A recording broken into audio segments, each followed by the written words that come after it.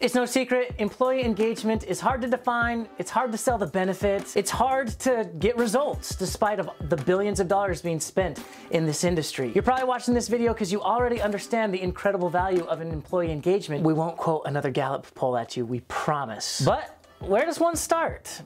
Alexander? I'm glad you asked. Look no further, HR friends. We're going to share with you the period, most period, practical period thing that you can do in order to boost employee engagement. We've interviewed executives, we've interviewed coaches, consultants, speakers, authors, we've podcasted, we've blogged, and at the end of the day, uh, uh, Josh, wait, what did we find? At the end of our journey, we still don't have a really solid definition, which is a little bit frustrating. I'm sure you felt that way. But we've realized that the reason why is because it's an incredibly complex industry. You're trying to marry psychology and complex demographics, unprepared leaders, distracted executives, all coming together in this thing that we call a workplace and trying to engage each other to achieve a goal it's a hard thing to do. The term employee engagement was designed to maximize efficiency in our employees, but that doesn't encapsulate the entire experience. What matters most and what the future of the industry holds is all centered around how an employee experiences work. Think about this. Employee A wakes up in the morning, gets dressed, hopefully brushes their teeth, heads to work. As they walk to work, what emotions are they experiencing in anticipation of being at work? Are they happy? Are they anxious? Are they frustrated? Do they feel enabled to get their job done? Do they feel the autonomous uh, ability to go and do what they need to do? The most important measure of success is how employees are experiencing work. So where do you start? Do you Google the latest and greatest employee engagement tech and trends? Do you implement a bring your pet to work day? Yes! or do you finally relax the dress code? No, forget all that. It's simple. It's so simple, you're gonna be frustrated that you watched this entire video to get to this extremely simple solution. Yes, people, stop looking beyond the mark. Here's the secret sauce. Mid-level managers need to have regular one-on-ones with their employees. That's it. No, for reals. We already know what you're thinking. Nobody has time for this. It's very hard to measure. You can't scale up. One-on-ones are a huge challenge, but it may be one of the most important things you can do for employee engagement. We interviewed so many leaders and experts in the industry to try to understand what the practical things we can do to help start increasing employee engagement, and almost all of them introduced some form of one-on-ones with employees. Let's just jump right in. Sally Thornton, one of our good friends, she is the founder and CEO of Forshay. She gave us a very simple way to get started. What you could do next week that would help the whole team is to actually ask them. I believe that we don't have to have all the answers. So how might we ask questions of our team to say, how do we do better work? together? What are the design constraints that fuel us? And how do we do it as a team um, and that, that I believe will allow people to have better work and better lives. So it's simple. Just ask your employees about how they experience work. Or you could take the three-step method from Nataly Kogan, CEO and creator of Happier Inc. Do a regular check in with all of your employees individually. Schedule these five minute check ins with your colleagues or people who work on your team.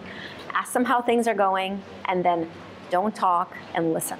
It's not about work, how is this project? It's, hey, how is it going? And then you give them space to talk. There's a study that showed that 40% of employees say that when a colleague or a boss checks in with them, more than any other measure, expensive offsites, expensive benefits, helps them feel like they belong and helps them to feel more motivated to work harder. And I have now taught leaders that run enormous global organizations that do this practice as they travel around. And what I hear over and over again, it's the single simplest and most powerful tool that they have to create psychological safety and trust on their team. I'd like to add, sometimes it's hard to keep it in the five minutes, and that's because we don't do this very often. But if you're regularly scheduling these five minute chats, then you don't have to recap six months worth of work in five minutes. It doesn't even have to be feedback time. It can just be, how are you? What are you working on? Right. What's going well?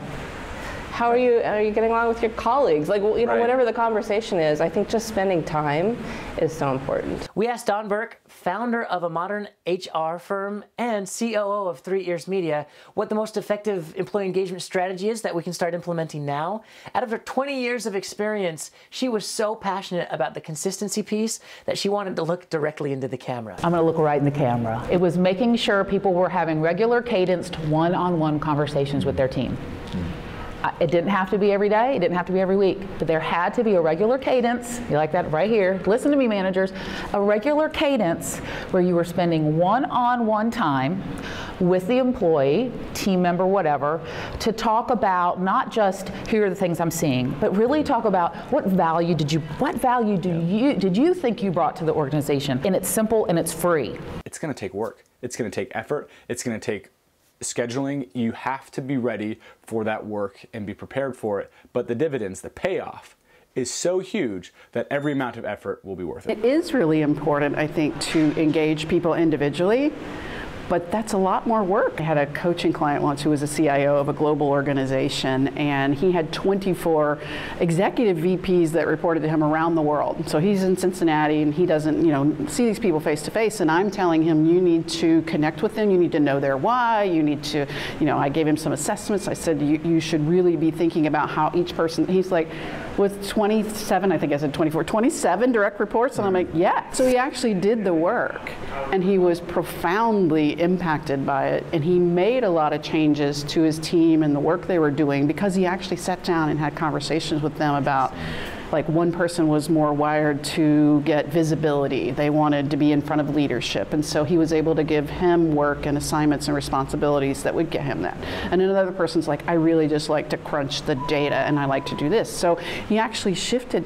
So once you actually do that work, I think you can get a lot more engagement, involvement, accountability, all that but it sounds really overwhelming. Far and away, the biggest objection that we hear when discussing this idea of trying to implement regular one on ones with employees is this idea that we just don't have time. Who has time to do one on ones with all of the people that report to them? Time is one of the most precious resources that we all need a lot more of. Why in the world would you spend more of it doing something so trivial like asking employees how they're feeling. Kristen Harcourt, a global executive coach, facilitator, and speaker, gives us a little bit more insight on the subject. When the leaders have so much on their plate, right? They, are going from meeting to meeting to meeting. Right. And then someone saying to them, oh, and by the way, you need to do one-on-one sessions. Right. It can feel like, well, how am I supposed to do that? I don't have the time. Um, but it's helping them to understand it, which feels counterintuitive when you actually make the time and have the one-on-ones and are proactive in that way, so much of the drama and the issues and the challenges that you're facing, they won't be the same because you're being proactive with the one-on-one conversations, right? If we can be proactive rather than reactive, we'll find that many of the little things that take away a lot of our time throughout the day will be resolved. So what's your excuse? What are you thinking of right now is the biggest reason why you wouldn't drop everything and start implementing this plan? probably you don't have time. We're not trying to pretend like we have discovered something revolutionary or something that every single other leadership coach isn't telling you. But listening is so fundamental. In order to have a positive employee experience, your employees have to be heard. And the best and most practical way to do that is just to start listening through one-on-ones with your employees. When employees feel heard, when they see that you care, or that you're at least trying to make a better work experience for them, there is a major shift in their attitude. All of a sudden, it's not me versus you or them versus us. It's, I can see that they're trying. Maybe I can try too. Thanks so much for watching, and don't forget, today's HR has the privilege of bringing potential to work.